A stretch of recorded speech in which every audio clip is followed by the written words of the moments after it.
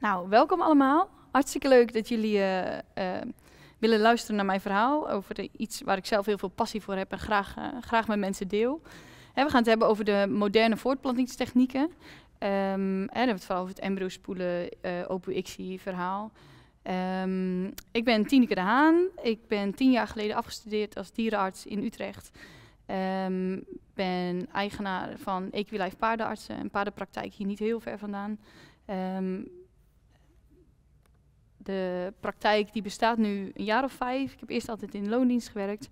Altijd een, een passie gehad voor de gynaecologie bij het paard. Ik heb ook uh, de mazzel dat ik eens in de zoveel tijd naar het buitenland kan om daar samen te werken met, um, met andere dierenartsen die daar ook heel veel passie voor hebben en verstand van hebben. Um, onze kliniek doet in principe alles. We zijn een all-round kliniek, uh, 24 uur per dag spoed, röntgenfoto's, uh, bedenk het maar. Maar we hebben wel echt een specialisatie in, in de gynaecologie. Um, op het moment zijn we met drie dierenartsen en drie assistentes. En straks in de zomer zijn we weer met vier dierenartsen en vier assistentes. Omdat we veel gynaecologie doen, zijn we in de zomer gewoon drukker als in de winter. Um, dus dan zijn we ook met meer mensen. Nou, um, ik wil het graag hebben over de, de moderne technieken. maar dan vind ik het altijd wel mooi om even te beginnen bij hoe het ooit dan begonnen is en waarom we zijn waar we nu zijn. Hè? Ongeveer, men denkt, wij denken uh, dat het paard al ongeveer 70 miljoen jaar bestaat. Um, ik heb hier een mooie pointer, als het goed is. Ja. Um, hè, toen was het paardje nog heel klein, was ongeveer 37 kilo. niks in vergelijking met, met wat het paard tegenwoordig weegt. Hè, ze hadden ook andere andere benen, voeten moeten we zeggen. Um, hè, met, met nog meer vingerachtige benen zoals wij dat ook hebben. En dat is over de tijd heen geëvalueerd in het been zoals we dat nu kennen. En ook in het paard zoals we dat nu kennen. Heel veel zwaarder um, als toen. Nou, dan ongeveer 3500 jaar geleden hebben we de, de eerste documentatie dat mensen, in dit geval de Grieken, de paarden wilden domesticeren. Hè, dus we gingen het paard gebruiken voor bepaalde doeleinden en dat was voornamelijk een functioneel dier. Um, hè, zo werden ze gebruikt in de oorlogen als, als rijpaard, maar uh, we hadden ze ook voor de wagen om mensen te vervoeren. Ze werkten mee in de kolenmijnen om de karren te trekken. Hè, ploeg op het land is denk ik een van de dingen die we onszelf nog het meest voor de geest kunnen halen. Um, maar ook het vervoer van andere materialen. Nou, op een gegeven moment uh, kwamen de machines en die ontwikkeling heeft ervoor gezorgd dat die paarden eigenlijk ja, zonder werk kwamen te zitten, om het zo maar te zeggen. Hè? En, en daardoor hebben de paarden eigenlijk een andere functie gekregen. De meeste paarden die wij nu kennen um, worden gebruikt voor de sport of, uh, of recreatieve doeleinden. Um, maar dat heeft ook als gevolg gehad dat we meer zijn gaan fokken op speciale kenmerken, op specifieke kenmerken. Hè, we willen graag een, uh, een goed springpaard, dus die moet an genetisch anders zijn dan een mooi vriespaard. Nou ja, en een racepaard is weer anders. En ik weet niet of we deze allemaal kennen. Je kan hem opzoeken. Hij heet Ed en hij is heel grappig. ja, um, nou ja, die, die specifieke kenmerken en rassen zorgen er ook voor dat er stamboeken zijn ontstaan. Um, en ook dat we uh, bepaalde hengsten dan heel goed vinden en daar met z'n allen meer mee willen gaan fokken. Um, dus de vraag naar één specifieke hengst en daarmee ook de specifieke eigenschappen is daarmee toegenomen. Um, dat had tot gevolg dat we uh, specifieker gingen dekken. Hè? En, en toen we nog niet insemineerden, toen ging, uh, ging de eigenaar van de hengst met de hengst langs de merries. Of de merries kwamen bij hem. Ik, dat is een beetje voor mijn tijd, maar um, wat ik heb begrepen is dat het zo gegaan is. Maar um, hè, als zo'n hengst twee merries op een dag moet dekken, dan is dat best prima. Maar op een gegeven moment kwam er een tijd dat zo'n hengst dan uh, acht merries op een dag moest dekken. Nou ja, je kan je voorstellen, als jij nummertje acht bent die dag, dan um, zal het allemaal wel niet zo heel veel soeps meer zijn. Dus die, hè, die, die ontwikkeling die, die uh, vraagt om een, uh, om een nieuwe ontwikkeling, ook dan weer. Um, en die ontwikkeling is het kunstmatig insemineren. Hè, dus we zijn sperma gaan opvangen, en dat kunnen we verdelen in porties en dat kunnen we dan bij mensen thuis insemineren. Um, dat is eigenlijk nog steeds grotendeels hoe het vandaag de dag gaat. Maar dan zijn er in de laatste jaren toch ook andere technieken bijgekomen die steeds meer en meer uh, ook commercieel toegepast worden. Um, en daar wil ik graag met jullie over praten. Ik doe dat zelf vrij veel en ik vind het heel leuk. Um, en ik hoop dat ik jullie daar iets over bij kan brengen. Hè, dan gaan we dus in eerste instantie hebben over het embryo spoelen en de transplantatie van die embryo's. Vervolgens over de OPU en de ICSI. Ehm, en dan wil ik nog heel kort even het invriezen van verse embryo's aanstippen. Nou, uh, embryotransplantatie. Mag ik vragen wie, wie bij zijn paard wel eens embryotransplantatie heeft gedaan of het wel eens heeft zien gebeuren?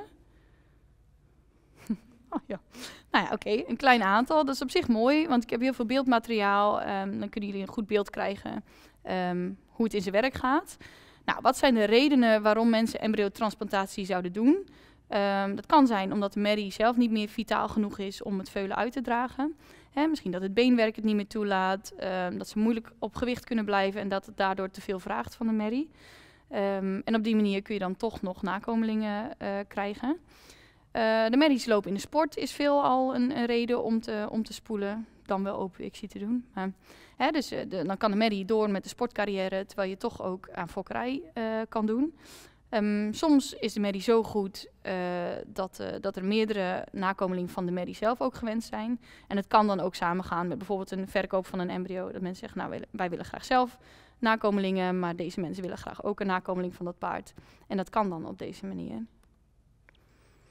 Nou, dan um, hoe gaat dat in zijn werk? Hè, we, we, spoelen de merrie op dag 8. Dat houdt in dat de merrie gewoon begeleid wordt, net als bij een gewone inseminatie, uh, bij een eigen dracht. Dus de merrie wordt opgevolgd, wordt gescand, wordt geïnsemineerd. En stel, het is vandaag vrijdag, um, gisteren zat het ei er nog, vanmorgen was het ei weg, dan is vandaag dag 0. En dan gaan we dus volgende week zaterdag, acht dagen later, gaan we die merrie de baarmoeder spoelen om het embryo eruit te spoelen. Er zijn kleine uitzonderingen waarom je het soms op dag 7 of op dag 9 zou doen. Hè, dat kan zijn uh, dat, dat het te maken heeft met de leeftijd van de merrie. Als de merrie echt al wat ouder is, en heb ik het over rond de 20 bijvoorbeeld, dan gaat de ontwikkeling van die embryo's vaak gewoon ietsje trager. Dus dan zou je ervoor kunnen kiezen om pas op dag 9 te gaan spoelen. Hetzelfde geldt voor bijvoorbeeld gebruik van diepvriesperma. Dan gaat de ontwikkeling soms ook ietsje trager. Dus dan zou je kunnen zeggen, helemaal als je een combinatie hebt van diepvriesperma in een oudere merrie, dat je zegt, ik wacht een dagje langer. Um, dan is dat soms beter. Um, er staat er ook nog bij invriezen. Daar kom ik straks nog even op terug, want als je verse embryo's wil wilt invriezen, dan kunnen ze soms beter een beetje kleiner zijn. Dat maakt het proces uh, beter. Dus dan wordt er soms bijvoorbeeld op dag 7 al gespoeld, want dan is het embryootje gewoon wat kleiner. Um, nou ja, dan ga je de merrie spoelen, dan heb je mogelijk een embryo. Hè, het is altijd goed om je te beseffen dat er ook geen embryo aanwezig kan zijn. Ik bedoel, als de merrie tenslotte niet bevrucht is en niet drachtig geworden is, kun je ook geen embryo spoelen. Zo simpel is het. Um, dus je hebt daar geen garantie op. Hè? Um, het kan zijn dus dat je 0, 1, 2 of soms zelfs 3 embryo's spoelt. Het komt niet heel vaak voor. Ik heb het zelf twee keer meegemaakt tot nu toe dat we een drieling gespoeld hebben. Um, dus dat is niet heel vaak. Nou, dan hebben we zo'n embryo gespoeld, of embryo's. Um, en die gaan we dan beoordelen onder de microscoop. Hè? Op het moment dat we gespoeld hebben, dan, dan heb je vloeistof uit die merrie in een bakje. Dan hoop je eigenlijk dat je met het blote oog al ziet, want dat is gunstig, dan zijn ze mooi van formaat. Maar ook dan, ook al zie je ze al, moet je ze eerst nog onder de microscoop beoordelen of de kwaliteit van het embryo ook goed is. Um, dan gaan we ze wassen ik kan me voorstellen als je dat nooit gezien hebt, dat je daar de meest wilde voorstellingen bij hebt, hoe dat dan gaat, met een borstel en wat zeepsop. Maar in principe um, wordt die verplaatst in vloeistoffen. Maar ik heb er straks een plaatje van en dan zal ik het nog ietsje duidelijker uitleggen. Um, Vervolgens, um, als we dat embryo dan gewassen hebben, dan kunnen we hem inladen in een pipet en overzetten in een draagmerrie. Er staan hier allemaal cijfertjes achter. Min 1, 0, plus 1, plus 2. Nou, ik kan me voorstellen dat je denkt, uh, wat houdt dat in? Um, de draagmerrie, waar je het embryo in gaat zetten, moet qua cyclus ongeveer gelijk lopen met de donormerrie. He, dus de donormerrie spoel je op dag 8. Dan kan je voorstellen dat die draagmerrie ook ongeveer dag 8 moet zijn. Nou, in het meest gunstige scenario loopt, die uh, loopt de draagmerrie één of twee dagen achter. Dus die zit dan op dag 6 of 7 na de ijsprong.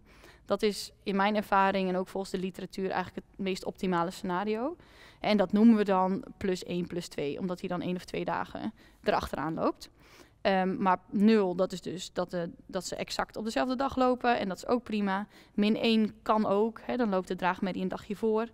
Um, plus 3 zou op zich ook nog kunnen, maar dan, hè, het, de, wat we eigenlijk het liefste zien is één of twee dagen later. Nou, dan hebben we de merrie gespoeld. Wij spuiten ze eigenlijk altijd hengstig op het moment dat we gespoeld hebben. Tenzij de eigenaar dat niet wil. Ehm, dat kan. Sommige merries reageren daar heftig op. En helemaal sportpaarden zijn, kun je ervoor kiezen om dat dan toch niet te doen. En gewoon zijn eigen cyclus te laten belopen. Um, de reden dat we ze hengstig spuiten, um, dat is om meerdere redenen. Um, je werkt natuurlijk zo schoon mogelijk, maar er bestaat altijd een kans dat je iets van viezigheid mee naar binnen neemt. Nou ja, het moment dat de medie hengstig is, dan heeft hij meer weerstand en dan kan hij ook de viezigheid zelf naar buiten werken. Um, dus als je hem hengstig spuit, is hij sneller weer hengstig. Dus kan hij zichzelf opschonen als dat nodig is. Um, het heeft ook de reden dat heel enkel, ook weer bij die oudere merries vooral, hè, de embryootjes nog in de eileider kunnen zitten. Dus die zijn dan nog niet in de baarmoeder aangekomen. Nou ja, je spoelt alleen die baarmoeder en niet de eileider. Hè, dus stel jij spoelt die merrie en het embryo zit nog in de eileider, komt hij dus niet naar buiten. Maar dan komt hij wel waarschijnlijk één of twee dagen later alsnog in die baarmoeder aan. En dan wordt die merrie zelfdrachtig. En dat is over het algemeen niet waarom we de spoeling deden. Uh, dus over het algemeen niet gewenst. Nou, om die merrie de donormerrie dan hengstig te spuiten, dan voorkom je dat ook. Want mocht het embryo dan toch nog aanwezig geweest zijn, dan houdt dat geen stand. Nou, hier heb ik een, een, schematisch tekeningetje, hoe dat dan in zijn werk gaat. Um, hier, zien we de hier zien we de eierstokken en daar hangt de baarmoeder dan aan vast. Dan zien we hier een ballonnetje en die zit aan dit slangetje vast. Dus wat we doen, uh, als we beginnen, we maken het allemaal heel goed schoon. De staart is aan de kant. Dan brengen we de katheter naar binnen door de cervix heen, dus de baarmoedermond. En op het moment dat het slangetje in de baarmoeder is, blazen we dit ballonnetje op. Dat ballonnetje zorgt ervoor dat de slang niet weer naar buiten kan vallen. Dus dat alles mooi uh, blijft zitten waar je wil dat het zit. Um, vervolgens zitten hier vaak clipjes aan. Dus dan laten we eerst water de merrie inlopen. Dus dan blaast de baarmoeder op. Dat is vaak ongeveer anderhalve liter. Um, en als de baarmoeder dan vol zit, dan laat je het water weer naar buiten lopen. En dat gaat hier dan door een filter heen. Dus dan wordt het al gefilterd. En het afvalwater valt er hier um, uit. Dus hebben een heel mooi dingetje. Wij laten het gewoon in de emmer lopen. Dat doet het ook prima. Um, nou, dat doe je dan vaak een keer of drie. Dus met keer of drie bedoel ik in dezelfde sessie gewoon de baarmoeder opblazen, leeg laten lopen, weer laten vullen en weer leeg laten lopen. Um, de medie is eventueel gesedeerd van tevoren. Wij doen dat zeker niet standaard, maar als het nodig is, dan, uh, dan doen we dat wel als de medie onrustig is. Um, op zich, de procedure voelen ze mijn inziens erg weinig van. Maar sommige medies hebben gewoon al stress van het in een opvoelbox staan op een andere locatie. Vaak die jonge medies ook wel. Um, nou, dan hebben we dus gewassen, brengen we de katheter in. Wij spoelen zelf. De vloeistof die wij gebruiken is ringenlactaat. Er bestaan ook commerciële media. Um, in mijn beleving werkt ringenlactaat, ja, is ook wel commercieel, maar niet speciaal voor dit doeleinde. Uh, maar wel net zo goed. Um, en dan flussen we dus meestal drie keer. Sommige merries, uh, de driejarige bijvoorbeeld, die hebben maar een heel klein baarmoedertje, want heeft nog nooit een veulen in gezeten. Um, dus dan zitten ze na een liter bijvoorbeeld al vol. Nou ja, dan kun je ze vijf keer flussen met dezelfde zak, want je hebt vijf liter. Je merkt het vaak wel als de merries een beetje zo heen en weer beginnen te wiebelen. Dan denk je, oh, nou, dat zou wel wat ongemakkelijk zijn. Dan zit het spulletje vol en dan laat je het weer teruglopen. Nou, dit is een foto bij ons in het lab van de Lemon Flowcast. Was misschien mooi geweest als ik onze opslag er even vandaan had gehaald, maar het is wat het is. Um, een Lemon Flowcast is in principe een apparaat die zuigt hier lucht aan van boven. En er zitten allemaal filters in en die blaast dan die lucht die kast in. Dus alles wat je hierin doet is steriel en schoon. Um, deze tafel in ons geval is een warmtetafel, dus die kunnen we op elke temperatuur brengen. Nou, niet elke, maar hè, de, de temperatuur die je nodig hebt, daar kun je hem op instellen. En dit is dan de microscoop. Dus hier kijk je doorheen en dan kun je je bakje onderzetten. En op die manier kun je gewoon echt goed schoonwerken uh, onder de juiste temperatuur. Want embryo's houden niet zo heel veel van temperatuurwisselingen. Hè, dus het is zonde als het uit de merrie komt, heel erg afkoelt en dan volgens weer een merrie in moet. En op deze manier proberen we dan de temperatuur continu zo stabiel mogelijk te houden. En ik heb echt de beste hulp van de wereld als ik niet oplet. Als het uh, neem je dochter mee naar je werkdag is, dan, um, dan helpt ze me eventjes. Dan hebben we hier zo'n bakje waarin we de embryo's dan gaan wassen. He, hier zitten dan verschillende vloeistoffen in.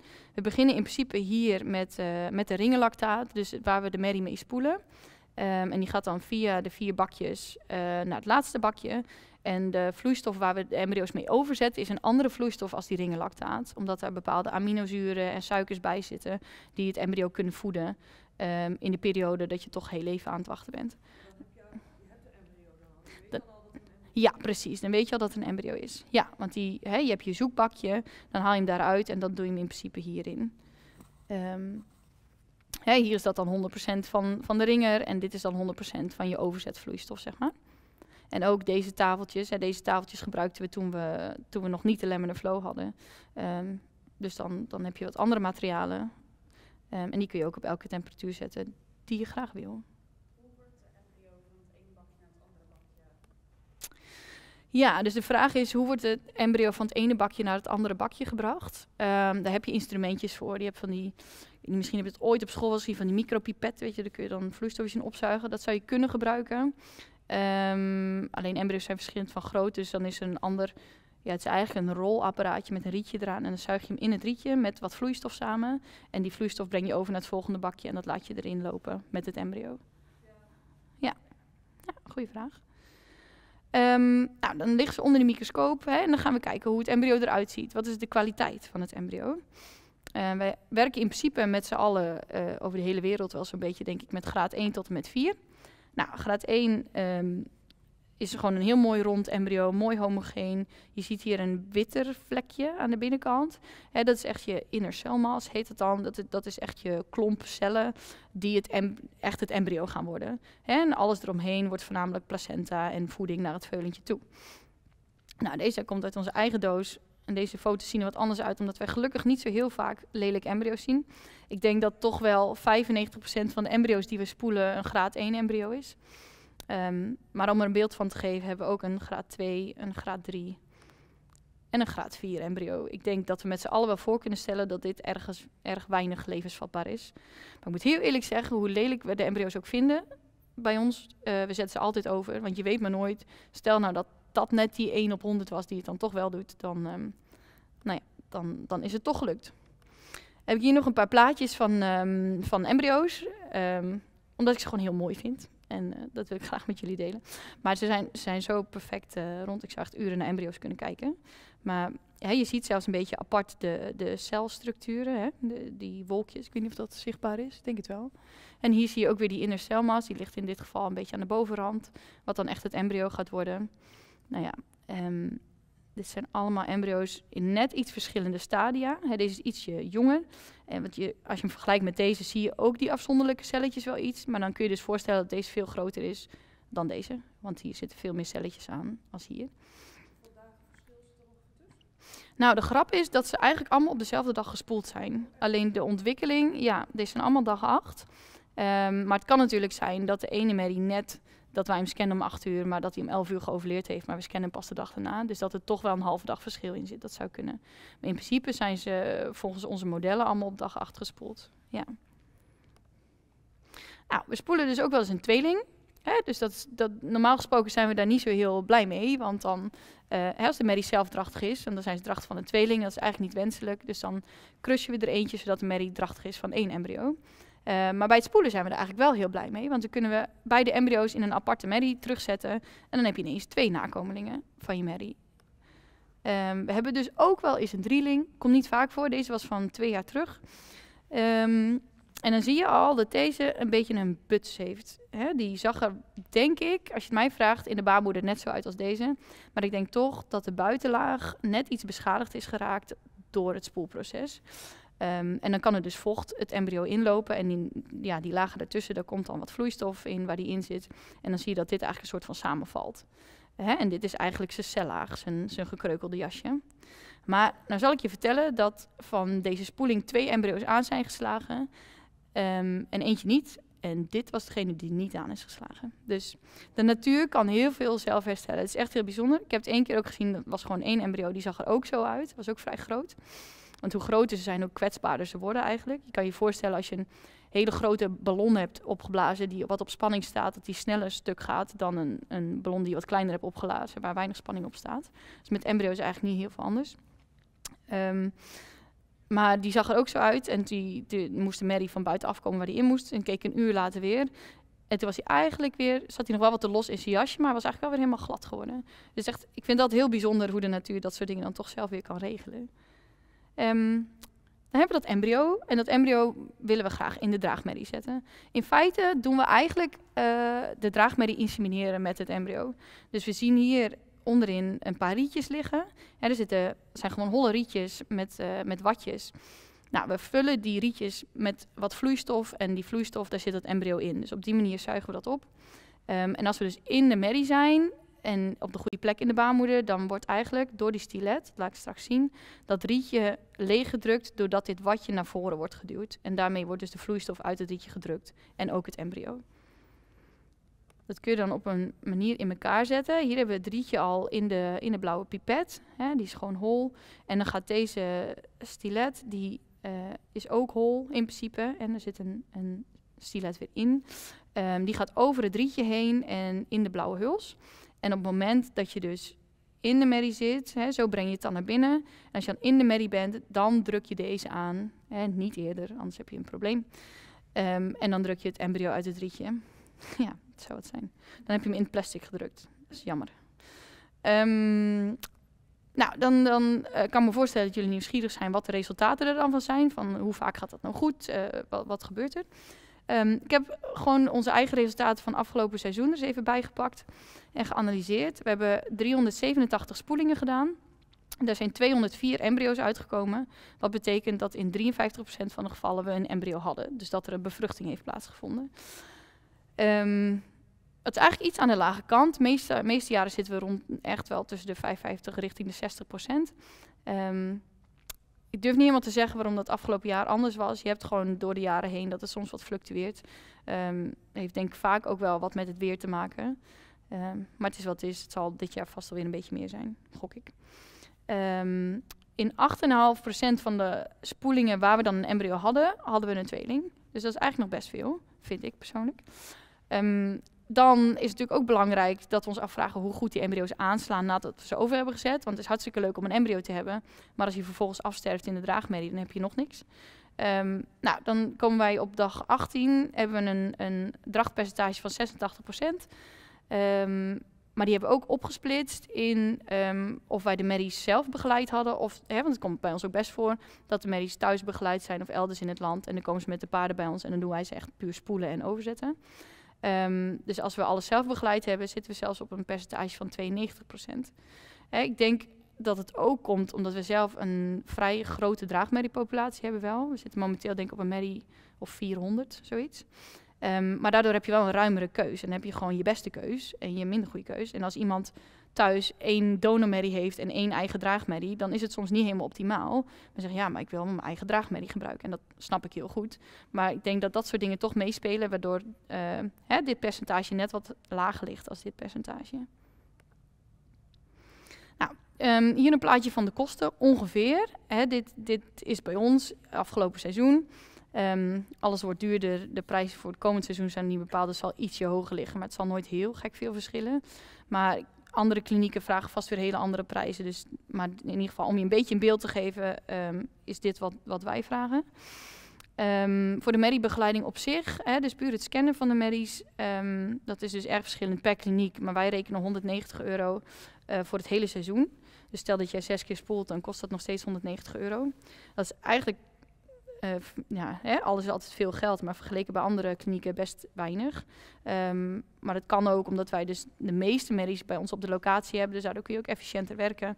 Um, en uh, ja, daarom kunnen we het zo doen. Het embryo spoelen kost bij ons 285 euro en als je dan een embryo hebt, kost het overzetten 240 euro dan heb ik hier een bedrag aangeplakt. Maar dat is eigenlijk best een lastige, want een jonge merrie hoef je misschien bijna niks aan te doen. En een andere merrie moet je drie dagen lang naspoelen voordat je de baarmoeder een beetje schoon hebt na het insemineren. Dus dit is een bedrag wat ergens tussen de 20 euro en de 400 euro kan liggen, als je het mij vraagt. Maar voor, uh, gewoon voor het model en het beeld heb ik even 100 euro gepakt. Um, dus als je dat bij elkaar op gaat tellen en het zou allemaal in één keer raak zijn, dan zit je op een ongeveer 815 euro aan dierenartsenkosten. Um, maar het kan natuurlijk heel goed zijn dat je een merrie wel drie keer moet spoelen voordat je een embryo hebt die mooi aanslaat. Nou, dan moet je dus die 285 keer 3 doen. Um, en dan zit je al op een uh, kostenplaatje van 1385 euro. Dan wil ik even de overstap maken naar het OPU-ICSI-verhaal. OPU-ICSI, als je er niet bekend mee bent, um, dan klinkt dat een beetje als abacadabra, maar het zijn afkortingen. Hè, OPU staat voor Ovum Pickup dus eigenlijk, uh, ovum is, in, is een eicel vertaald. Hè, dus eigenlijk, uh, je je plukt je eicel eruit. En dat is ook eigenlijk wat je doet. Hè, je haalt de eicellen rechtstreeks uit de eierstokken. Ehm, volgens de literatuur heb je dan een recovery van ongeveer 60%. En dat betekent ehm, dat als je een follikel aanprikt, als wij Mary scannen, ik weet niet of, of jullie dat wel eens gezien hebben, maar dan zie je op de echo altijd van die mooie zwarte bolletjes. Hè, en als we gewoon dekken, dan wil je één groot zwart bolletje, want dat is je dominante follikel. Maar als we open doen, dan willen we eigenlijk liever zoveel mogelijk wat kleinere bolletjes. Nou, die bolletjes, dat zijn follicels en die prik je aan. Bij paarden is het niet heel eenvoudig om altijd dat eicelletje uit die follikel te krijgen. En ik zal je straks laten zien waarom. bij mensen en koeien uh, worden die bolletjes aangeprikt en dan zuig je hem leeg en heb je eigenlijk altijd eicel. Bij paarden is het natuurlijk weer net even anders. Um, dus vandaar dat de recovery zeker geen 100% is, maar ergens in de buurt van de 60 ligt volgens uh, de boekjes. Um, we prikken onrijpe follicels aan. Hè, dus we hebben geen hormoonstimulatie gedaan, geen superovulatie of dat soort dingen. Um, hè, gebeurt bij mensen en koeien wel. Um, maar bij paarden doen we dus eigenlijk gewoon wekelijks scannen. En dat ontwikkelt continu die eierstok. En op het moment dat we denken, dit is eigenlijk best een mooi beeld. Nu heeft hij een redelijk netjes aantal follicels. Dan, dan gaan we prikken. Um, en als gevolg, na de OPU moet je dan ook ICSI doen. Of dat moet niet, maar anders heb je eicellen waar je niks mee kan. Dus volgens ga je ICSI doen en dat is de afkorting voor Intracytoplasmic Sperm Injection. Wat zoveel betekent dat je één eicel uh, onder de microscoop in een, uh, één spermacel in een eicel brengt. Nou, wat, uh, wat, bij ons wordt dan de OPU gedaan op de kliniek. Wat gebeurt er dan? De medie komt binnen, die wordt gesedeerd, hè, dus een beetje verdoofd, dat ze rustig zijn. Ze krijgen wat pijnstilling, een, een darmverslapper, excuses voor mijn spelfoutje. En, en ze krijgen eenmalige antibiotica. Um, wij werken veel samen met Avantea, dat zit in Italië. En dat is een laboratorium wat, nou, denk als een van de eerste mee begonnen is, commercieel, om die ICSI te doen bij paarden. En die zijn daar, denk ik, ook nog steeds het beste in wereldwijd. Um, ze doen het veel, ze zijn, er, ze zijn altijd een paar jaar voor op de rest. Maar er komen steeds meer andere laboratoria ook wel. Ook hè, toch wel een aantal in Nederland die er ook mee begonnen zijn en ook best wel resultaten halen. Maar voor ons gaat het gros nog steeds wel naar Italië. Dus vandaar dat ik daar eventjes over spreek. Um, maar dan is het wel export, want het gaat over de grens. Dus die eicellen die worden geëxporteerd en die worden dan behandeld als exportmateriaal. Wat betekent dat de merrie getest moet zijn van tevoren op EIA en SEM. Dus die merries worden gemonsterd en dan mogen we de eicellen exporteren. Nou, dan hebben we de OPU gedaan en dan adviseren we altijd om de merries enkele dagen uit het werk te houden. Om ze even wat rust te geven. Waarom, hè, we net waarom doen we embryotransplantatie. Dan, dan ook de vraag waarom zou je dan voor OPU-ICSI kiezen in, plaats van embryotransplantatie bijvoorbeeld. Um, aantal redenen zijn, zijn gelijk. Um, hè, zoals die Mary loopt in de sport. Nou ja, dat, dat is bij beide uh, kan dat een reden zijn om, om ervoor te kiezen. Um, stel dat ET niet meer wil, omdat de Mary dusdanig verminderd vruchtbaar is of verstopte eileiders heeft, dan zou je kunnen zeggen, dan doen we toch OPU of ICSI. Um, als de Mary plotseling koliek krijgt of om een reden vrij plotseling geëuthaniseerd moet worden, dan komt het nog wel eens voor dat mensen dan denken, ja, maar verdorie, ik wou hier nog nakomelingen van. Dan kan je op dat moment de eierstokken eruit halen en dus ook de eicellen eruit halen en dan toch de ICSI doen. Um, en bij de open ICSI speelt ook het sperma veel meer een factor. Uh, speelt veel meer mee. Um, stel dat er niet genoeg sperma is van een hengst. Uh, we hebben een hengst die is al, al langer overleden en er is eigenlijk nog maar een heel klein beetje sperma van. Dan kun je via deze techniek daar nog veel meer nakomelingen mee creëren dan wanneer je zeg maar vijf rietjes hebt en die stop je één keer in de merrie en dan is het weg. Um, dus dan kan dit heel gunstig zijn. En soms hebben we uh, sperma wat gewoon weg niet goed genoeg is kwalitatief om, om in vivo te bevruchten, dus in het paard een bevruchting te doen. Um, dan kan dit ook helpen. Ik heb deze even tussen haakjes gezet. Um, en dat is omdat het in Nederland niet mag. Wij mogen hier niet klonen, wettelijk gezien. Um, maar in andere landen wordt er wel open gedaan, zodat ze die eicellen kunnen gebruiken in het kloonproces. Nou, ook hier heb ik even een kostenplaatje van, uh, van opgesteld. Um, kunnen als kort even bij langslopen. Hè. Open is dus het daadwerkelijke aanprikken van de eicellen. Um, is 900 euro. We zijn altijd wel even bezig met drie man en je gebruikt best wel materiaal. Dus vandaar dat het best wel kostbaar is. Um, paard krijgt wat medicatie, is ongeveer 150 euro. Dan hebben we het transport naar Italië, is natuurlijk niet gratis, 300 euro. De NVWA um, is denk ik een bekend begrip, maar de NVWA die controleert alle exportmaterialen. En die sturen daar ook een factuur voor, helaas. Dus dat moet ook betaald worden. ehm, dan als het in Italië is, dan worden die eicellen die dus niet rijp zijn, want ze zijn niet gematureerd, hè, ze zijn niet uh, met hormoonstimulatie al volwassen geworden. Dus dat moet dan nog buiten het paard. Nou, dat maturatieproces kost 180 euro. En dan hebben we de echte ICSI, dus de fysieke injectie van die eicellen, is 500 euro. Um, stel dat je heel veel eicellen hebt uit een sessie en zegt, nou, ik wil misschien wel twee hengsten gebruiken. Dan krijg ik van verschillende hengsten nakomelingen. Um, dan kost dat 320 euro voor die extra hengst, want dat sperma moet weer behandeld worden. En vandaar dat er dan extra kosten bij komen. Um, en wat Avantea dan doet in Italië, is dat elk embryo wat ze produceren, uh, rekenen ze 550 euro voor. Dan kunnen we daar een rekensommetje van maken. in principe ben je die 2150 dus eigenlijk altijd kwijt. Dat zijn je, je basiskosten en daar komt dan 550 euro per embryo overheen. Dus stel we hebben één embryo in een sessie, dan zijn de kosten per embryo 2700 euro geweest. Stel dat we nou vier embryo's tijdens die sessie uh, gecreëerd hebben, dan um, zijn de kosten 4350 euro in totaal. En die doe je dan gedeeld door vier. En dan zie je dus dat het um, voelt ook wel logisch, maar het is dus ook zo dat hoe meer embryo's je hebt in zo'n sessie, hoe goedkoper het relatief gezien wordt. Ja, zegt eens.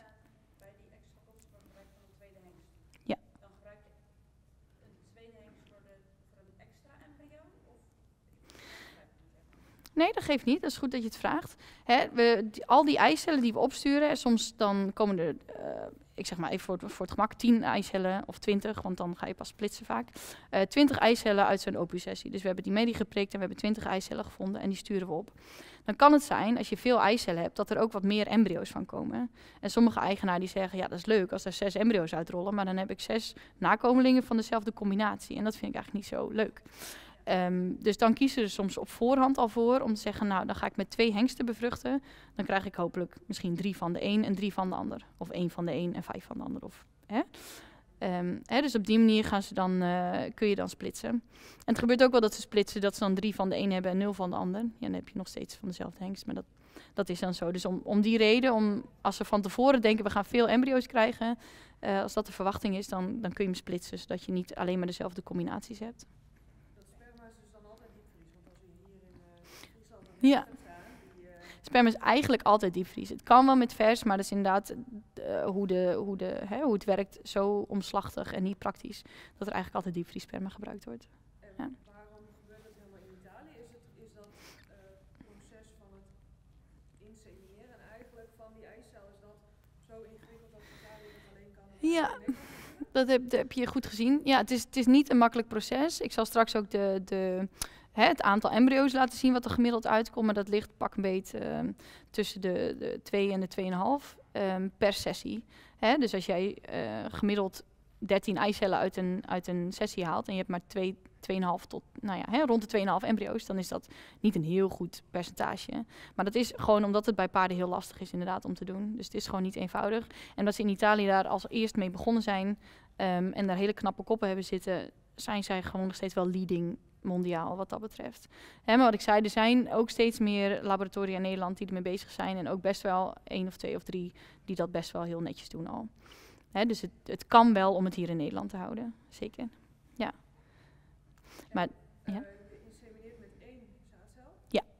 Kun je die dan ook seksen? Um, ja, kan. Wordt niet heel veel gedaan. Um, wat wel relatief veel gebeurt, of ook niet veel, maar wel meer, is dat uh, op het moment dat de embryo's gemaakt zijn uh, of ontstaan zijn, um, dat, ze die, dat ze die seksen voordat ze ze invriezen. Zodat ze weten dat embryo is een merrie, die embryo is, dat wordt een hengst. En dat wordt wel gedaan, ja. Oké, nou dan hebben we hier een fotootje hoe dat er dan uitziet. Uh, we doen dat met z'n drieën. Het is een hele opstelling, maar dat is het ook. Hè, dit is onze pomp. Um, er zitten twee flessen in. Dat is niet heel goed zichtbaar, maar dat is zo. Dat mag je van me aannemen. Eén fles is vol met vloeistof, de andere is leeg als je begint. Um, die vloeistof die gebruiken we om die follikels te spoelen. En die, die vloeistof komt terug en die komt dan in de lege fles. Uh, en die vult zich dan. En die fles gaan we uiteindelijk dan filteren en zeven. En daar de eicellen in, in zoeken. Um, ik sta hier, ik zit met mijn arm rectaal in het paard. En ik mijn collega, die staat hiernaast, die heeft de naald vast waarmee we inprikken. En die heeft ook de proophouder vast. En die proophouder die zit vaginaal. Um, wat ik dan doe, is dan ben ik in het paard, dan hou ik de eierstok vast. En die breng ik naar de vaginawand toe. Want wat je natuurlijk niet wil, of natuurlijk, maar wat je niet wil, is dat je met je naald eh, door alle darmpjes heen moet manoeuvreren om dan een keer in die eierstok te gaan prikken. Hè, dan voel je op je klompen aan, dat gaat natuurlijk een keer mis, dan prik je een darm en dan met alle gevolgen van dien. Ehm, dus wat je doet, is je hebt de vaginawand. Um, dus van buitenaf komt die proophouder, die tegen de vaginawand aan. En van binnen heb ik dan de eierstok, die breng ik ook tegen de vaginawand aan. Dus dat je zeker weet dat je alleen maar door die vaginawand heen prikt in de eierstok. Um, als je dan over onze schouders meekijkt, dan kijk je dus, hè, hier zie je het scherm staan van achteren. En dan hebben we de echo, die zit in die proophouder, zodat we goed kunnen zien wat we doen en waar we in prikken. Um, en hier heb je dan uh, dat beeld waar je doorheen kijkt. Ik heb straks wat mooiere filmpjes van, uh, van die echobeelden. Nou, dit is dan die proophouder die mijn collega dan vast heeft. Dan zie je hier de echokop. Hè, die echokop komt hier uit. En dat kun je niet heel goed zien, maar je mag van me aannemen dat hier een gultje is. En in dat gultje, daar komt de naald doorheen. Dus de naald komt altijd onder dezelfde hoek uh, in je beeld eruit, zeg maar. Want die echokop zit vast en die naald zit ook vast. Dus daardoor kun je veilig werken en weet je altijd Ga ik in de eierstok prikken of prik ik ergens anders in? Nou, dat wil je natuurlijk niet, dus je prikt in die eierstok. Dit is de ene helft, dan zie je hier de andere helft liggen, dan doe je hem dicht en dan ziet het er in principe zo uit.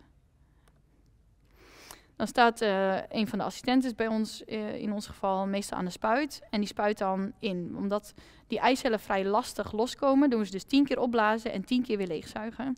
Hè, soms zeven keer, maar in de regel tien keer. Um, dus ik sta erin in, in het paard en ik zie dat de naald er mooi ingaat. Die follikel valt samen, dus dan weten we dat de vloeistof eruit komt, dat we goed in dat follikel zitten. En dan zeg ik ja. En dan, uh, afhankelijk hoe groot het follikel is, gaat de assistente dan een aantal milliliter inspuiten. En dan gaat ze tellen, spuit ze in en zegt ze één. En dan zeg ik weer ja, en dan spuit ze in en zegt ze twee. En zo gaan we de hele tijd door tot we bij tien zijn. Ik heb er zo een filmpje van, dan wordt het misschien nog duidelijker. Maar ik heb eerst een foto van um, hoe zo'n, dit is de eicel, hoe die vastzit aan de wand bij een paard. Um, zoals bij een koe zit het veel meer los, een beetje bijna op een steeltje-achtig. Um, en dan kan je voorstellen dat zo'n eicel veel makkelijker loskomt van de wand. Maar bij paarden zit het best wel een beetje vast. En je kan je dus voorstellen als dit eraf moet komen, want dat is wat je wil hebben, moet je het echt een beetje schrapen. Dus dan schep je hem een soort van eruit. En dat schrapen, dat doe je dus ook met de naald waarmee je inprikt. Um, nou is het gelukkig zo dat de binnenkant van de eierstok gevoelloos is. Dus dat schrapen, daar voelen ze gelukkig helemaal niks van. Dan heb ik nu een filmpje ter verduidelijking. Je ziet hier al het puntje van onze naald. Die komt in ons geval altijd rechtsboven in beeld uh, de eierstok in. En dan zie je hier de eierstok. Hey, hier zitten wat darmen en buikvet en andere soorten dingen. Uh, en dat zwarte bolletje is ons follikel, zoals we die met gewoon echo ook wel zien. En daar willen we in gaan prikken. Nou, dan komt hij aan. En dan zetten we de pomp, die staat onder druk. En dan zie je dat hij helemaal samenvalt. Hè? Het vocht gaat er allemaal uit. Zwart is vocht. En zie dus ook, hè, zoals hier zitten wat, uh, wat belletjes bij, maar dan hè, dat hij weer opblaast elke keer. En je ziet die naald een beetje zo gaan. Dus mijn collega doet elke keer 180 graden, 180 graden, 180 graden, zodat we goed die wand kunnen schrapen. Nou ja, en dan zie je weer dat hij weer opgeblazen wordt en dat hij weer leegloopt. En je ziet ook, denk ik, dat ik de eierstok ook wat beweeg, dat het niet helemaal stil is. Um, en dat is dus om dus te zorgen dat je die wand goed om die naald heen kunt bewegen. Nou, dan hebben we nog een filmpje van. Deze is ietsje kleiner. Dan zie je ook dat hij sneller samenvalt en uh, sneller weer opblaast. Hè, dan spuiten we dus ook minder vloeistof weer opnieuw in elke keer. Um, dat klinkt zo, oh dat is mooi, want hoe kleiner ze zijn, hoe sneller we klaar zijn. Want dan kan je op, op, op, in principe is dat ook zo. Um, we halen ook op zich wel hele goede resultaten door hier de eicellen uit te halen. We weten alleen wel ook dat de hele kleine follicels, dus rond een half centimeter en kleiner, uiteindelijk die eicellen die eruit komen, dat die minder goed tot embryo's leiden.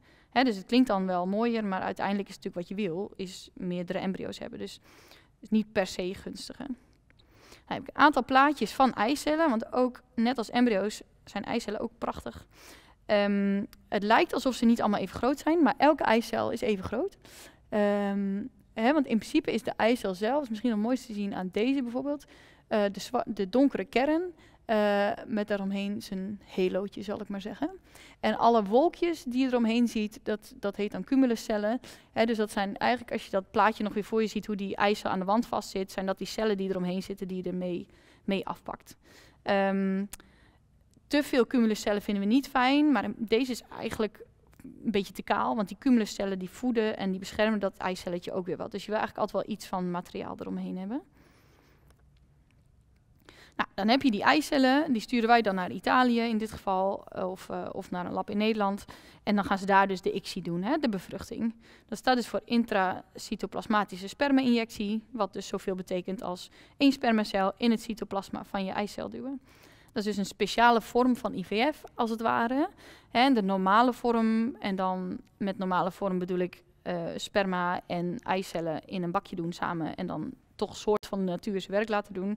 Um, dat het bij paarden niet werkt. Ik moet inmiddels zeggen slecht werkt, want er zijn enkele um, onderzoeksgroepen die wel iets van resultaten behalen, maar dat, commercieel gezien is het nog niet, uh, zeker nog niet aan de orde.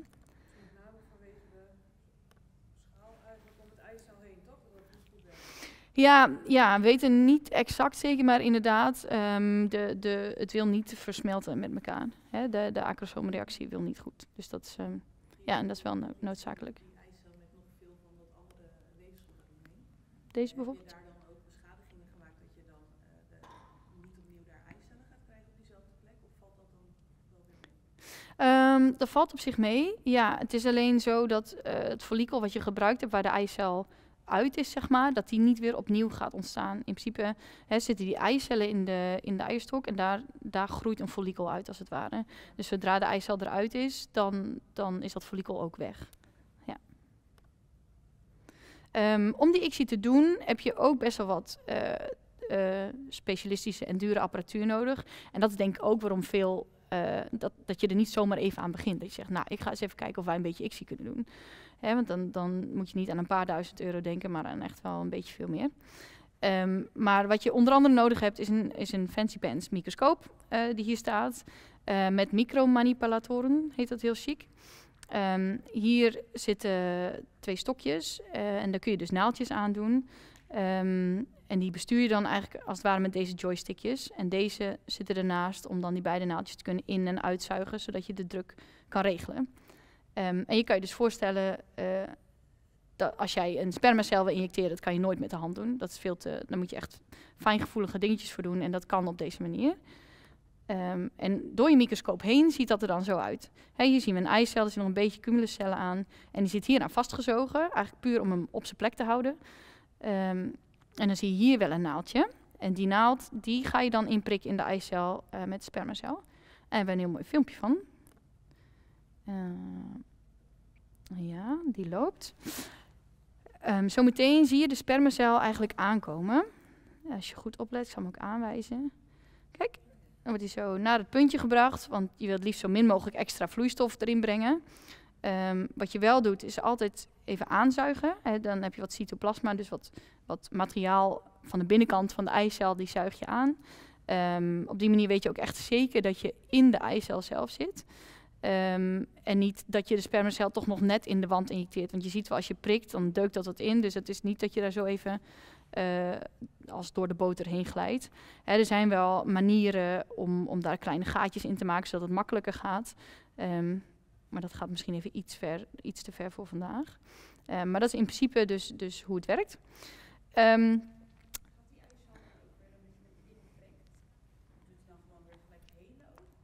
nou, dat is ook de reden. Um, je ziet, um, hmm, hoe gaat hij dan nog een keer afspelen?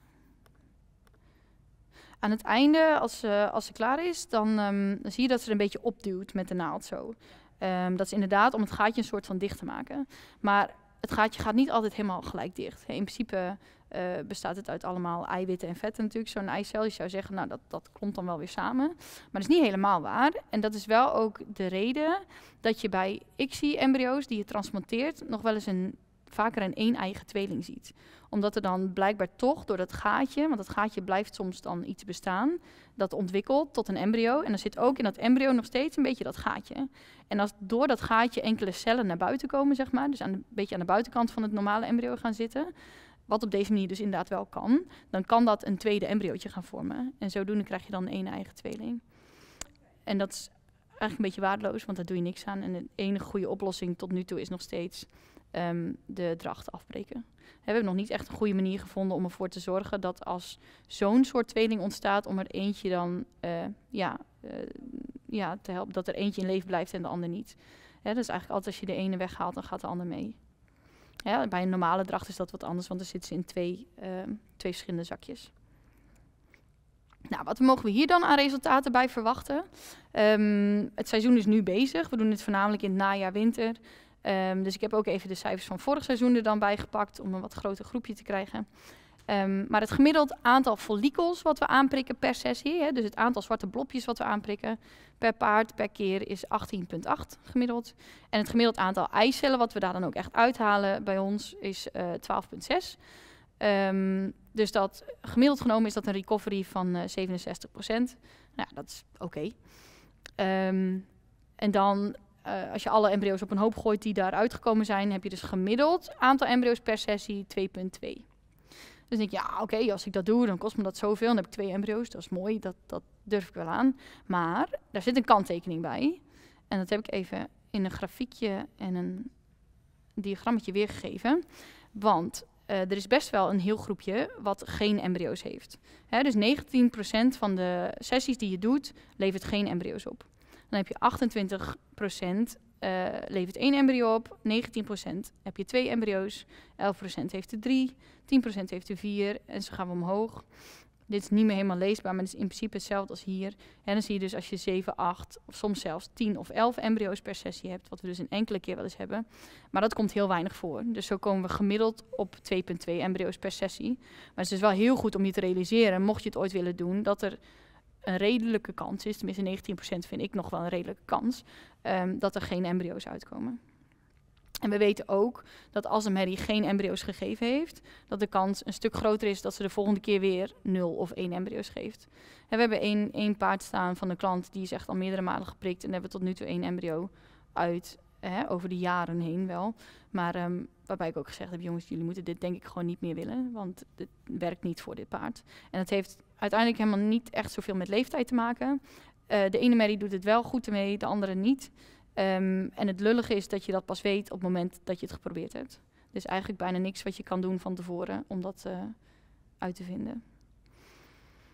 Dan die embryo's die gemaakt worden, die worden eigenlijk allemaal ingevroren. Want zoals ik zei, wij doen dit voornamelijk in het najaar of in de winter. Nou ja, er is niemand, tenminste bijna niemand in Nederland, die in het najaar graag een veulentje wil. Um, dus die embryo's worden ingevroren en die kunnen dus in de zomer ontdooid worden op elk gewenst moment. Um, dat heeft als voordeel dat je dus makkelijker ook je eigen merrie zou kunnen gebruiken, want ze hoeven niet synchroon te lopen. Hè. De dono-draagmerrie die hoeven niet meer op hetzelfde punt in de cyclus te zitten. Je kan gewoon de, de draagmerrie opvolgen. Um, en dan dag 4 na de ovulatie. Stel maandag was het ei weg, je scant ze elke dag. Maandag is het ei weg, gaan we vrijdag het embryootje inzetten. Um, er zijn verschillende ontdooitechnieken waar ik jullie nu niet mee zal vervelen, maar dat, dat komt ook door uh, verschillende invriesmethodes. Het ene lab doet het op de ene manier, het andere lab doet het op de andere manier. Um, en dan heb je het voornamelijk over slow freezing versus vitrificatie. En slow freezing moet je je voorstellen dat het over een periode van ongeveer een uur steeds een beetje meer afgekoeld wordt tot het wordt ingevroren. En vitrificatie hou je het eigenlijk op kamertemperatuur en dan gooi je ze in stikstof en dan is hij gelijk bevroren. Nou, hier zijn twee plaatjes van dan die, die ICSI-embryootjes, hoe die eruit zien na ontdooien. Um, ze zijn iets minder scherp, maar dat komt dus ook, die foto's zeg maar. Um, maar dat komt omdat ze dus heel klein zijn. Ze zijn echt een stuk kleiner als, uh, als vers gespoelde embryo's. Omdat ze toch niet net zo snel en mooi ontwikkelen als in het paard zelf. Um, om een vergelijking... Uh, ja. Ja. Nee, nee, ze worden pas ingevroren op het moment dat het een embryo wordt. Dus in principe elk goed ontwikkeld uh, eicelletje wordt, wordt geïnjecteerd. En dan moeten ze eerst een dag of 7 tot 9 rijpen. En op het moment dat ze dan dit stadium bereikt hebben en er zo uitzien, dan worden ze ingevroren. En het ene embryootje bereikt dat stadium iets eerder of iets later als de ander. Dus ze worden ook niet allemaal per se op dezelfde dag ingevroren. Um, maar ik heb ze even naast elkaar gelegd. Hè. Dit is dan een vers embryo versus een ICSI-embryo. En ik denk eigenlijk, als je het echt op ware schaal wil doen, dat je deze nog wel ietsje, die nog ietsje kleiner moet maken. Maar dat is even om de vergelijking te geven. Nou, ook die embryo's worden dus ontdooid en overgezet. En wat voor drachtpercentage mag je daar dan van verwachten? Um, op basis van afgelopen zomer, wat we ontdooid en overgezet hebben, hebben wij een uh, 76% drachtpercentage overal. Ehm, en heb ik wederom even opgesplitst of we zelf de merries begeleid hebben of dat dat elders gedaan is. En dan zie je toch wel een heel groot verschil. Ehm, hè, dus wat we zelf begeleid hebben is 81% drachtig. Wat van buitenaf is gekomen 64% drachtig. Um, en dat is niet omdat ik nou mezelf zo graag een schouderklopje wil geven. Maar het geeft wel gewoon aan dat het iets is wat je um, graag goed moet willen doen. Het is niet per se heel ingewikkeld, maar wel iets wat je denk ik... Uh, waar je ervaring in krijgt door het veel te doen. Dan iemand die dat ook een keer doet voor een klant en zegt, nou, dit, dit zal dan wel goed zijn. En dan is het misschien niet goed. Hè, ik denk dat het, dat het succes van aanslaan van je ICSI-embryo's voor het allergrootste deel zit in de selectie van je draagmerrie. Vond je je draagmerrie goed genoeg? En heb ik het niet over of hij goed in zijn vlees zit, ook wel. Maar ook of die cyclus zelf goed genoeg was. Hè? En soms kan het wijs zijn om te zeggen, nou, deze cyclus ging gewoon te snel. Ze is maar twee dagen hengsten geweest. Ik wacht een rondje en ik wacht tot de volgende cyclus mooier is. En dat is natuurlijk eigenlijk wijzer uh, om dan te wachten en wel een dracht te hebben dan te denken, nou, maar ik wil het zo graag, dus ik doe het nu maar.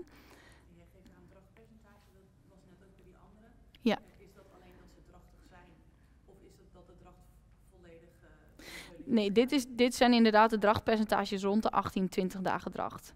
Ja, en um, er wordt wel gezegd, hè, bij een gewone eigen dracht op 18 dagen sterven ook een x aantal af natuurlijk nog. Um, er wordt uh, wel beschreven dat bij ICSI-embryo's uh, dat vaker gebeurt na de tijd. Um, dat is bij ons de ervaring daarentegen niet. Dus dat dat niet... Nee, ook niet per se. Nee. Dan denk ik dat het toch goed is om aan te stippen um, of we hier ook ethische vragen bij moeten stellen, omdat dat ook steeds meer gebeurt. Hè, we leven in een wereld tegenwoordig waar iedereen vindt dat hij alles online uh, moet kunnen spuwen en moet kunnen vinden. Um, en dat gebeurt natuurlijk ook hiermee. Um, gelukkig zijn er, hè, ik, ik doe het natuurlijk zelf uh, met enige regelmaat, deze procedure. Dus ik vind dat ik er zelf een goed beeld van heb hoe die merries dat ervaren. Uh, ik kan natuurlijk niet met paard praten, net als dat de meeste mensen dat niet kunnen. Maar um, ik denk dat ik daar wel een redelijk oké beeld van heb. Maar er is ook onderzoek gedaan en dan uh, zie je dus wel dat de hartslag verhoogt tijdens de procedure. Cortisol, je stresshormoon in speeksel, verandert daarentegen niet. Um, en de ademhaling van het paard verandert ook niet. En dat zijn in principe parameters die bij stress en pijn omhoog gaan.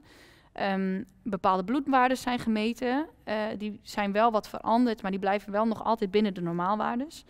Um, er is ook gevonden, en dat is mijn ervaring ook wel, dat oudere merries die wat meer veulensgat hebben, het meest comfortabel zijn. En dat is ook omdat de, de, uh, de grootste pijnprikkel, waar ze het meeste last van hebben, mijn inziens, is toch de tractie aan de eierstokken. Dus het feit dat je die eierstok naar achter moet brengen. En als jij een oudere merrie hebt, die wat meer veulensgat heeft, dan ligt het gewoon oprecht allemaal wat losser. Dus dan, trek je naar achter en dan zegt hij, oh, oké, prima. Dus dan heeft hij aan die ophangbanden daar ook geen spanning op. Um, en het inprikken zelf, daar reageren ze eigenlijk verdacht weinig op. En dus het is meer als ze er last van hebben, dan is dat aan die tractie. Of door die tractie. En het komt ook echt wel eens voor dat wij zeggen: ja, sorry, um, deze is oncomfortabel, dit doen we niet. En dan stoppen we gewoon. Dan is het klaar.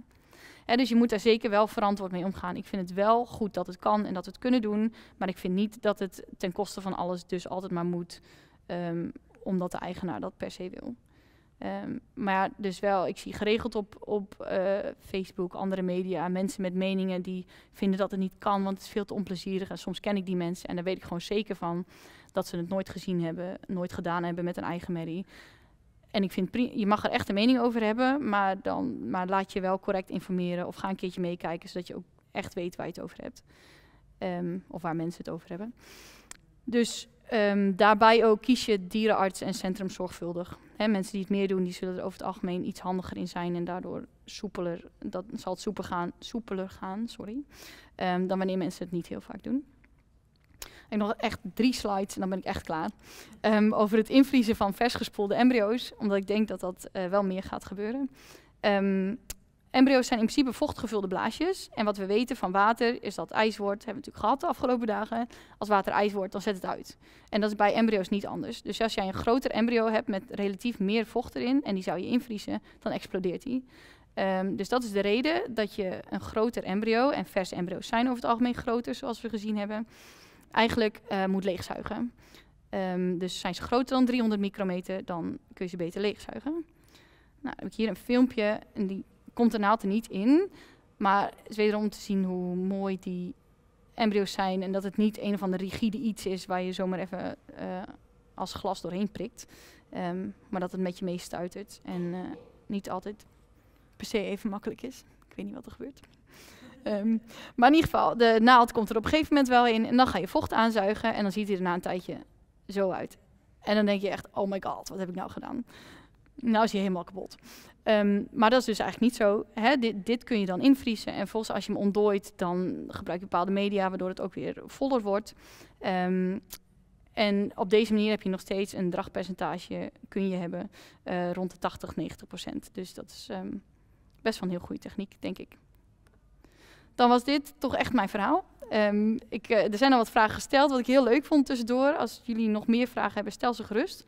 Ehm, en mochten er nog andere vragen oppoppen later, schroom niet om te bellen of me een mailtje te sturen. Of, hè, dan, uh, dan kunnen we het er dan nog een keer over hebben. Maar heeft iemand voor nu nog vragen?